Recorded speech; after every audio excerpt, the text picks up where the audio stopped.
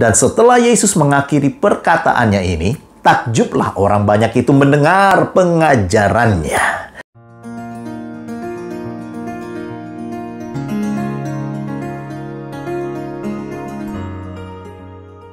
Bagaimana kita bisa melihat seseorang diurapi oleh Tuhan? Apa tandanya? Salah satunya adalah ketika orang lain mengkonfirmasi pelayanannya dan perbuatannya. Ini yang terungkap di dalam Matius 7:28. Dan setelah Yesus mengakhiri perkataannya ini, takjublah orang banyak itu mendengar pengajarannya.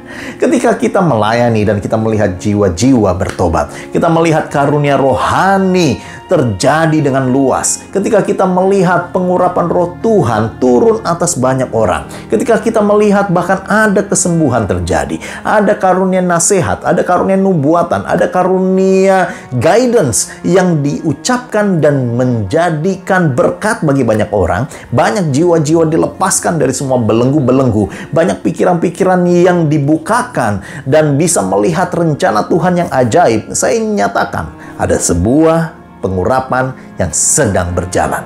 Dan jadilah orang-orang yang diurapi dan melepaskan banyak orang. Amen.